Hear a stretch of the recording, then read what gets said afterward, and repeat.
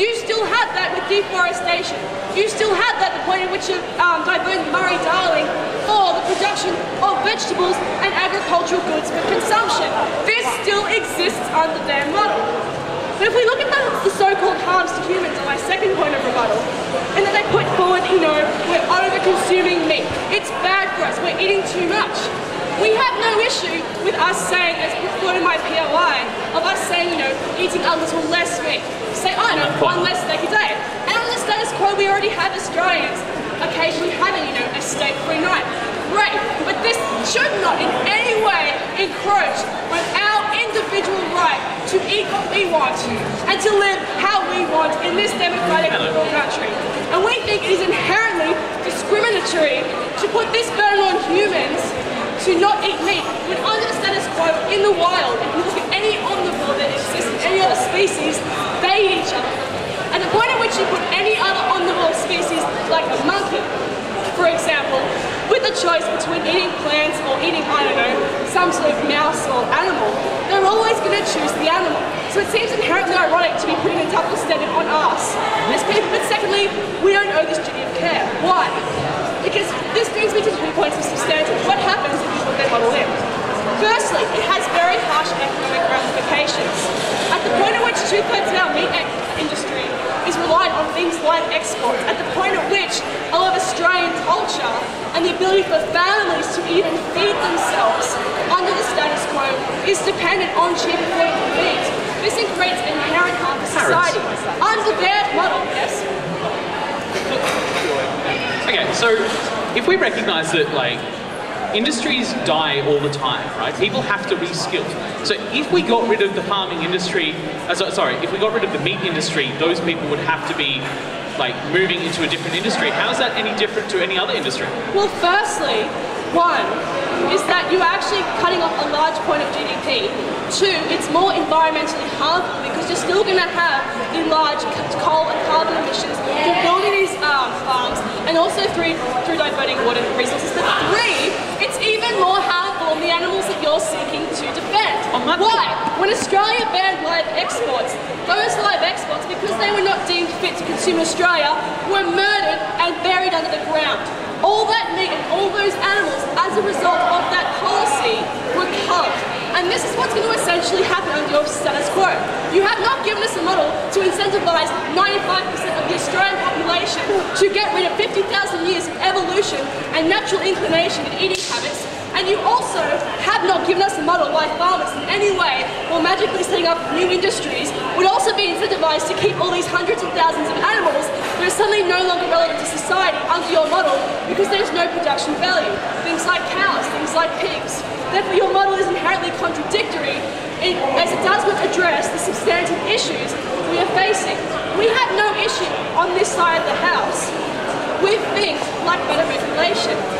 It has been put forward in a large plethora of scientific journals with things like free-range farming, with things like the Jamie Oliver campaign on television, which was put forward to society, let's buy free-range eggs, at the point at which we have a legal system itself which recognises the importance of farm animals, in which legal protections, animal advocacy groups are actually acting to make better um, living standards for animals, we feel the issue is not essentially should we stop eating meat, but how we eat meat. To us on this side of the house, this is the issue. and the status quo, we are addressing this. And this is why we are very proud to oppose this ridiculous and contradictory motion, long live meat.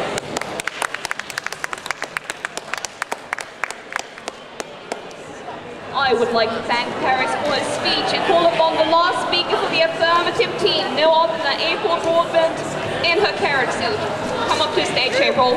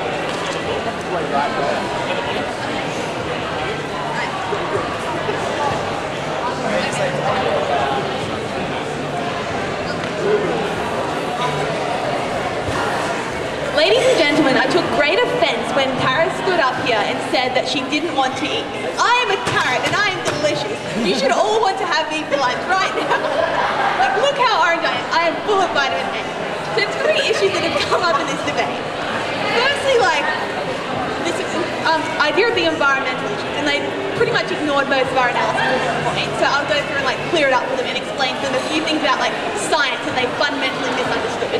Secondly, this idea that like, oh well, we admit that these harms probably exist, so we can just regulate them. Why regulation doesn't work in this instance. And thirdly, this idea that like meat is important to society because you know industry and like gave us this sob story about um, starving families without actually like taking into account all the other issues that come out in the meat industry.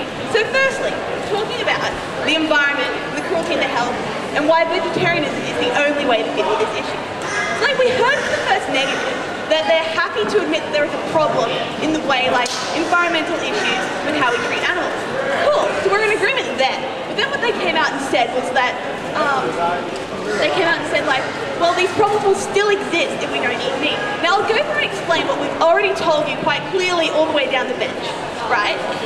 When you produce like, there's this thing called trophic level, right? When you are an animal and you eat another animal lower down the food chain, like obviously that energy that you consume gets like, you use some of it to, you know, walk around, you use some of it to produce heat, you use some of it to like create duplicates of yourself. Like, that um, it is not efficient to like eat things. So if you think of it in the sense that like you have a set amount of grain and you decide to feed some of it to a cow to make something for dinner, you will lose some of that because some of that energy will be used to make parts of the cow you won't eat. Some of that energy will be used to like for the cow to move around and you know exist um, and things like that. And then some of that energy will be used to make more cows that you can like you know feed them more things in the future, right? But what you could do instead take that brain, that like crop that you're feeding the animal, and just eat it as it is. It will still like, as I already told you, no thank you. It will already meet your nutritional requirements, and you're not like filtering it through another level of like inefficiency that causes all these problems. So like, I'll explain now why that means that issues like no thank you, why issues like deforestation and resource mismanagement will like be dealt dealt with by this issue. When you are producing less of a crop because you're not filtering, like you need less of it to meet the same nutritional requirements, therefore you're like obviously clearing less land because you need to grow less of the crop. You're growing less of the crop which uses less water. Like we will see that, sure, deforestation will probably still exist, but it will be far, far less because we're producing far, far fewer crops, right? So that's that problem dealt with. I didn't start myself. Um, so the next, so the next thing that they came up and talked about was this idea of regulation. So what they came up and said that you know, oh, the problem with the way we treat animals, the problem with the environmental issues is mismanagement. No, as we've to- told you already, it is like a fundamentally environmentally detrimental thing to do to produce meat. As like I've already explained my first.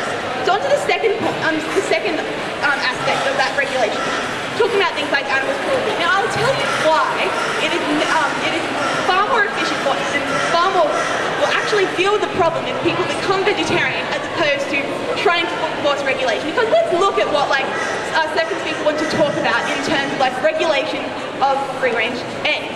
What we have seen is that free range farmers, um, like industry bodies, will always want to um, see that regulations allow them to be as cruel to animals as possible because it is more efficient for them. They make more money if they can cram more chickens into the same cage um, On and that. cram and things like that. Sure. At the point at which, under this current status quo, animal advocacy groups, advocacy groups can actually take people to the High Court of Australia, and there are actual cases on animal cruelty. And at that point at which farm animals do have a recognised legal status as chattels, don't you think it's inherently ironic to take away all of this, all this work that has been made from animals, at the point at which the legal status is better than other animals otherwise made? Okay, two issues with that. Firstly, why like animal protection groups are not going to be able to challenge like the incredibly financially and politically influential lobby groups and industry bodies. And secondly, why the legal system has failed animals. So firstly onto why individuals, like individual community groups trying to propose a court will never be able to amass the same resources and the same influence as like a giant um, company that had millions of dollars behind it and can hire the best lawyers. Like they, that will always be a losing battle. So you can't like have um, animal advocacy, advocacy groups never be able to um, be the match of corporate bodies. We'll see that they'll always be trying to um, improve regulation, but as we've already seen recently, industry bodies have been so far proving successful in changing the regulations for um, free-range chickens so that they are allowed to keep the chickens in a smaller space. So as we've seen, like the industry um, legislation is actually going backwards because businesses are far more powerful than animal advocacy groups. And that is why it is up to the consumers to make that choice.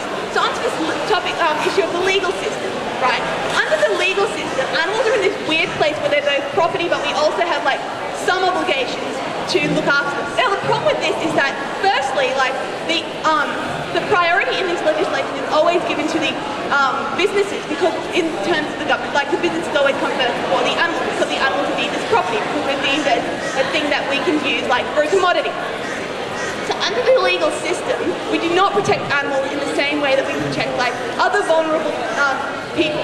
We see that the law will never be able to do this. Well, the reason we've already explained that like businesses are always more powerful. Cool. Right. So moving quite quickly on. Um, now onto this sob story about like meat and society. So firstly what we heard was this idea that, oh, like, you know, when we banned live exports that was bad for farmers and things like that. Now the problem is that, um, and we heard this idea, you know, like these animals will be overrunning the earth. We'll see like farmers, you know, going out of business and they won't be able to feed their families. Now firstly, to, um, firstly we don't think this is the case because we think that like when everyone goes vegetarian, we think that uh, um, understandably there'll be a fading out transition. So like the practicalities of that will be dealt with. We'll just stop producing meat. And people that live on farming communities generally like multitask and do a few different activities. So they'll be able to do like different farming sorts of things. And secondly, I think we don't just don't care. Like at the point where like we are hurting and um, torturing billions of animals every year, when we're degrading the environment to the point where like the animal agriculture industry is causing more environmental damage than all forms of transport in the world combined. We think that all of those harms greatly outweigh the livelihood of a few farmers that are abusing animals. We can find other things to do. We can retrain them. We like happy to throw like things like that at them um, to be able to deal with that issue. So we think that that is a fringe issue in this debate. So what have I told you? I've told you that the only way to help the environment and stop cruelty is for consumers to stand up and make a choice and like tell big businesses that this is not what we'll stand. I've told you that like the um, that regulation will not work and it is consumer power that um, that causes effective change. And I've told you that all this idea that you know it'll harm society, the fringe, um, like getting rid of meat, is a fringe issue when we see like far greater harms outweigh. We are very proud to propose.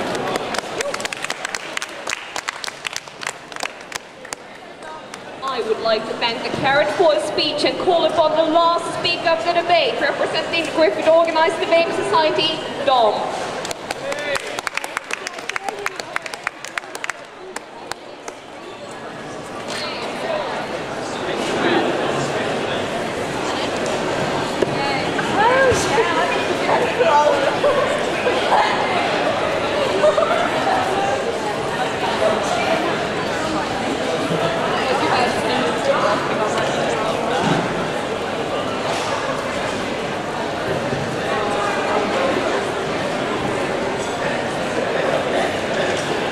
Ladies and gentlemen, at the point in which James came up and told you that everyone who eats meat automatically decides they have a right to be more cruel to animals, we pretty much knew that they had a really bad case going, right?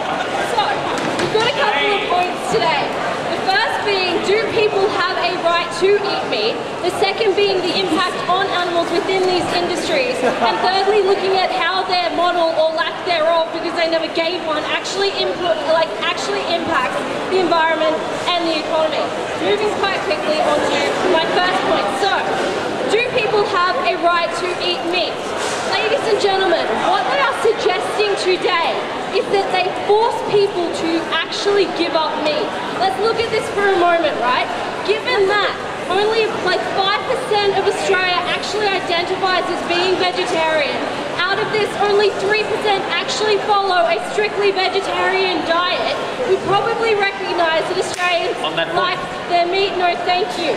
People have a right to pursue their own happiness. We are quite happy to stand for that, and we don't think that the government should force you to give up meat just because they think it is bad for you. I'll be getting to that very shortly. Realistically speaking, people can choose to opt into eating meat or eating like being strictly vegetarian. The fact they don't demonstrates that people do not want to be vegetarian. The fact that they don't means that in a system where they have that choice, they are choosing not to enter into that lifestyle. You are probably going to piss off a lot of people by forcing them into that lifestyle because it is a lifestyle choice. That is what is important. I'll take you on that. We're not saying we're going to force everyone to be vegetarian. We're saying that there is like a moral and practical imperative for people to become vegetarian. Will you engage with that? Awesome, about to engage with that in several different points. So, when we're dealing with the idea that it is better for a person to be vegetarian, what we say is that James in particular told you that there are a lot of health risks associated with meat, how it increases the risk of cancer, how you increase the risk of things like food poisoning.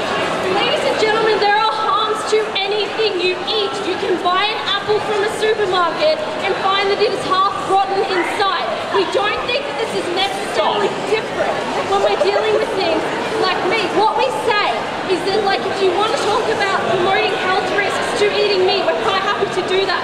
At the stage in which people know that cancer, like that smoking leads to cancer On that that is point. harmful for them and choose to do it anyway. We don't think that people like will choose to do this knowing that they actually like meat. We're quite happy to stand for that choice on our side of the house to take you now. Let's assume for a second that people don't actually think through their choices, right? Because like they're not thinking when they're eating meat, oh, this is going to potentially give me like greater cancer, therefore I shouldn't do it. Isn't it the role of the government to protect people from the long-term decisions that they can never make? No, because when the government like recognizes that smoking in particular is directly linked to cancer and they still allow you to make that choice by purely promoting like that it is harmful for you, we think that there are better ways of promoting that it is harmful for you than taking away that choice altogether. We recognize that we like choice under our side of the house. So, looking secondly at the impact on animals. Firstly, this idea, are animals subservient? Because this was something that was highly contentious on both sides. We told you that yes, we do believe that we can make choices in regards to animals. We don't think we have a duty of care. We think that animals are subservient. Like the nature of the food chain is that evilly, like nature of the food chain is that everything is eaten by something else. Humans happen to be at the top of that food chain because they are the most sentient beings. Like we're quite happy to stand for that. What we say is that even if we say that we are not morally superior, the reason animals will always be seen as inferior is because humans will always do what is best for humanity. When given a choice between like being forced into a lifestyle, like if, if they are actually like realistically speaking for a moment, like what we say is that when we saw like people getting attacked by sharks and suddenly there being an outcry to kill all the sharks, like people do not care about other species as long as it benefits their own species. We think that animals will always be seen as inferior in that light. We also heard about like the harms to animals because they told us like this, they gave us pretty much like this massive list these harms to animals under the status quo of eating meat. What we say is like we're happy to regulate. What we say is like we're happy to change this. We told you from the beginning that there are always better ways of dealing with the meat industry. What we think is that under your model, taking this industry away leads to more harm to the animals under that industry, and be getting to exactly that in a moment. But secondly, what we also say that you don't necessarily prevent people eating meat because there are always going to be people who are quite willing to go out there and like get their own meat through other means. They're not going to be following the regulated systems already in place. That's probably going to be more harmful because you have to have like a lot of animals be killed and not necessarily humane ways. And thirdly, looking at how this impacts the environment and the economy. Firstly, looking at the idea of economy. So what we say is that firstly you can have industries like crashing because they're forced to find other ways and we don't need necessarily the things that we get into in a moment.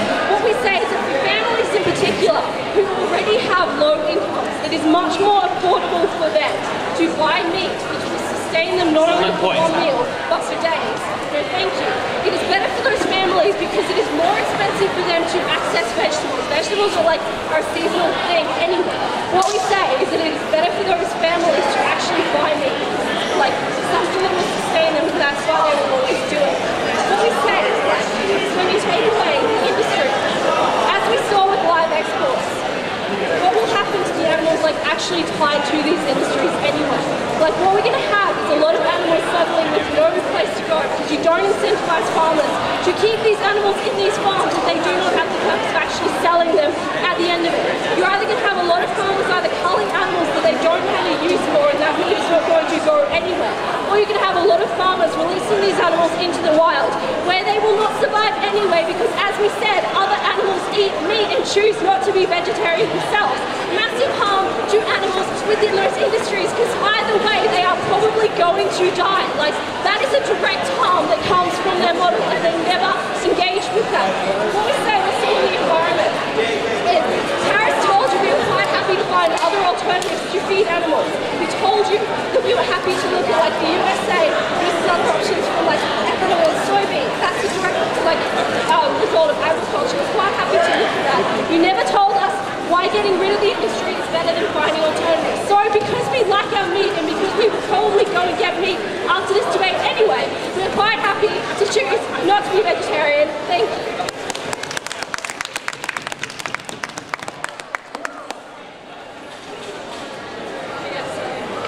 Okay, I'd like to thank Dawn for her speech and indeed for closing the debate. I would also like to thank Campus Live for helping us putting this debate on.